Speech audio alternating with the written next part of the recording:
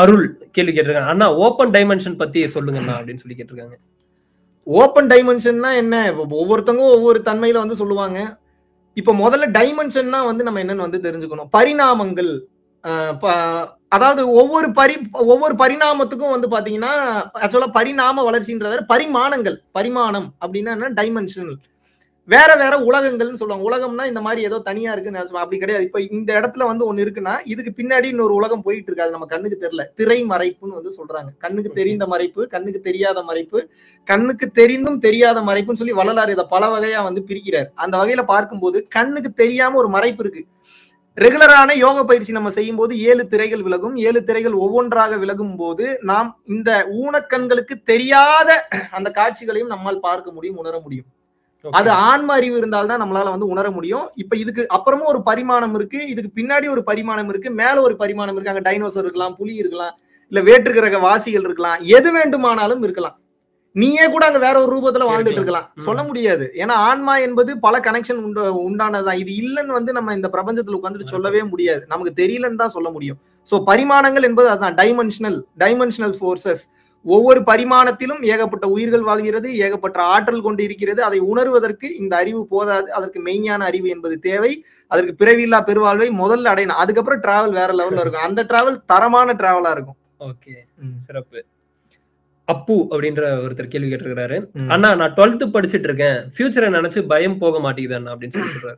முதல்ல அப்பு உங்களுக்கு நான் ஒரு விஷயத்தை தெளிவா சொல்ல விருப்பப்படுறேன். அதாவது இறைவன் நிர்ணயித்ததை யார் நினைத்தாலும் வந்து மாற்ற முடியாது. அப்படியே நம்ம இறைவனை சரணாகதி அடைந்தாலும் கூட மோசமா நடக்கிறது கொஞ்சம் லேசா நடந்து முடியுமே தவிர மற்றபடி நடந்து முடிய வேண்டியது நடந்து முடிந்துதான் தீரும். அப்ப என்ன அப்படின்னா நாளைக்கு நான் சாக போறேன் அப்படின்றது எனக்கு தெரிஞ்சிருச்சுன்னா இன்னில இருந்தே நான் உட்கார்ந்து நான் ஃபீல் பண்ணிட்டு இருப்பேனா? இன்னைக்கு எப்படி வாழணும்ன்ற விஷயத்த தான் நான் பார்க்கணும். அதுதான் வந்து நிதர்சனமான உண்மை.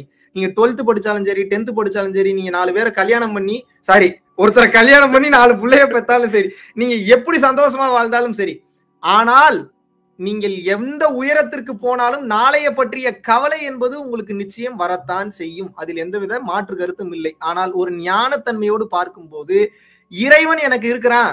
நான் தைரியமா என் வாழ்க்கையை வாழ்ந்துட்டு இருக்கேன். இது நாள் வரைக்கும் எனக்கு அவன் ஒரு கெடுதலும் பண்ணல. அப்படி கெடுதல் அப்படி நான் நினைச்சா அது என்னுடைய அறியாமை தான் எனக்கு ஒரு விஷயம் நடந்து முடிஞ்சிருக்குன்னா அது ஒரு காரண காரியத்துக்காக தான் வந்து நடந்து முடிஞ்சிருக்குன்ற புரிதல் வரும்போது எது நடந்ததோ அது நன்றாகவே நடந்ததுன்ற வார்த்தையை நான் நூறு சதவீதம் நம்பினேன்னா நான் எப்படி சோகப்படுவேன்? எது நடக்கிறதோ அதுவும் நன்றாகவே நடக்கிறது அப்படின்னா இப்போ என் தலையில ஒரு கல்லு விழுந்தாலும் இல்ல வந்து எவனை ஓங்கி என்னை ரெண்டு அடி அடிச்சாலும் என்னை எவனா திட்டிட்டு போனாலும் அசிங்கப்படுத்தினாலும் நான் ஏன் வருத்தப்பட போறேன்? அது கரெக்டா தான் நடந்திருக்கு. அதுல இருந்து நான் ஏதோ ஒன்று கத்துக்கணும் அப்படின்னு தான் நினைப்பேன். அப்போ இந்த பையனுக்கு அப்புன்ற பையனுக்கு நான் என்ன சொல்றேன்னா எது நடக்க இருக்கிறதோ அதுவும் நன்றாகவே நடக்கும். அப்போ நூறு சதவீதம் சரியா தான் நடக்க போகுதுன்னு நினைச்சிட்டாவே முதல்ல அதுல நம்பிக்கை அதிகப்படுத்த ஆரம்பிக்கணும். முதல்ல அந்த பிலீஃப் சிஸ்டத்தை வந்து மாத்தணும். எல்லாரும் ஆசைப்படுறீங்க எனக்கு அடுத்த நொடியை பத்தி பயம் இருக்கக்கூடாது இருக்கத்தானே செய்யும். என்ன நடக்க போகுதுன்னே தெரியலன்னா அந்த பயம் பதட்டம் இருக்கத்தானே செய்யும். ஆனா நான் எப்படி பைபாஸ் பண்றேன்னா இறைவன் சகலத்தையும் அறிந்தவன் சகலத்தையும் உணர்ந்தவன். அவனுடைய படைப்புல பிசிறு எரர் இருக்கிறதுக்கு வாய்ப்பே கிடையாது. மனிதனுடைய எரர்ல கூட ஹியூமன் எரர் இருக்கும். இறைவனோட விஷயங்கள்ல எரர் இருப்பதற்கு வாய்ப்பே கிடையாது. அப்படி இருக்கிறப்ப நடந்து முடிவதற்கு தப்பா போறதுக்கு சான்ஸே கிடையாது. அப்ப அதை புரிஞ்சுக்கிற பக்குவம் தான் எனக்கு இல்லைன்னு உணரும் போது ஆட்டோமேட்டிக்காவே எதிர்காலத்தை பற்றிய சிந்தனை எனக்கு குறைந்து விடுகிறது. பதட்டம் படபடப்பு இல்லாத தன்மைக்கு நான் போயிடுறேன். இப்போ உங்களுக்கு என்ன பிரச்சனைனா இறைவன் மேல டவுட் வந்துருச்சு. முதல்ல இறைவன் இருக்காரா இல்லையான்றதே நூறு சதவீதம் நம்ப மாட்டீங்க. அப்ப என்ன? அதை கண்ட்ரோல் பண்றதுக்கு ஆள் இல்ல அப்படின்றப்ப உங்களுக்கு பயம் பதட்டம் வருது. எஸ் இது எப்படி அப்படின்னா ஒரு இடத்துக்கு போறீங்க ஒரு இடத்துக்கு போனோடனே டே நான் தண்ணி எடுத்து குடிச்சிட்டு இருக்கேன். எனக்கு எனக்கு வந்து வேற எங்கேயுமே தண்ணி இல்ல. இந்த கயிறை மட்டும் விட்டுறாத விட்டுனா ஆறு என்னை இழுத்துட்டு போயிரும்னு சொல்லி ஒருத்தன் கையில கயிறை கொடுத்துட்டு போய் தண்ணி குடிச்சிட்டு இருக்கீங்க ஆறுல. குடிச்சிட்டு இருக்கும்போது எந்த தைரியத்துல தண்ணி குடிக்கிறீங்க ஒருத்தங்க? கண்டிப்பா நம்ம காப்பாத்திடுவான்ற தைரியம் இருக்கிறனால தான் குடிக்கிற குடிச்சிட்டு இருக்கீங்க. அந்த தைரியம் இல்லைன்னா எப்படி போய் நீங்க குடிப்பீங்க? நீச்சல் தெரியாது நீங்க. பயம் வந்துடும் அப்ப அவன் மேல இருக்கிற நம்பிக்கை ஏன் இறைவன் மேல வர மாட்டேங்குது அந்த கயிறை படைச்சது அவன் தான் அவனை படைச்சது அவன் தான் உங்களை படைச்சது அவன் தான் தண்ணியை படைச்சது அவன் தான். இத்தனையும் படைச்ச அவன் கண்ணுக்கு தெரியலன்றக்கா எப்படி நீங்க நம்பாம இருப்பீங்க? அப்ப அவன் இருக்கிறான்ற நம்பிக்கையை நூறு சதவீதம் அதிகப்படுத்தி கொள்ள வேண்டும். அதை நீங்கள் வளர்த்து கொள்ள வேண்டும். அந்த நம்பிக்கை அதிகமாகும் போது அந்த பயம் வராது. அதாவது ஆள் இருந்தாலும் தைரியம் இவங்களுக்கு இல்ல. இல்ல அங்க இருக்கிறாங்கன்றதே முதல் வாய் நல்லா பேசுறாங்கப்பா. யாருக்கு இறைவன் இருக்காருன்ற நம்பிக்கை இருக்கு. இப்ப நான் சொல்லுவேன் என் கையை வெட்டு காலை வெட்டு காதை கூட வெட்டிக்க சிரிச்சுக்கிட்டே செத்துறேன் நானுன்னு சொல்லுவேன். நூறு சதவீதம் சொல்லுவேன். வெட்டினாலும் சந்தோஷமாக போவேன். காரணம் என்ன? எனக்கு பாடி தான் போகுது. இறைவனை நூறு சதவீதம் நம்புனதுக்கு மேல என்ன மலர் தூவி வரவேற்பாங்க? இவ்வளவு தைரியமா நீ இறைவன் மேல வந்து நீ அன்பு காமிச்சியடான்னு சொல்லி நூறு சதவீதம் வரவேற்பாங்க. இதுல மாற்று கருத்தே கிடையாது. எனக்கு முக்தியும் அந்த அந்த தன்மையில வந்து எளிதாக வாய்த்து விடுகிறது. ஆனா நீங்க என்ன இறைவன் மேல நம்பிக்கை இல்லாம கை முக்கியம் காலு முக்கியம் காது முக்கியம் நினைக்கும் போது இப்ப நம்பிக்கை போயிருச்சு. இப்ப உங்களுக்கு பிரச்சனை என்னன்னா இறைவன் மேல நம்பிக்கை இல்ல.